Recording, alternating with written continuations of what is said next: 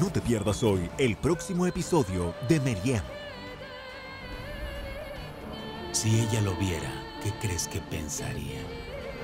No vine hasta aquí en vano, Mariam. Quiero que me escuches. Por favor.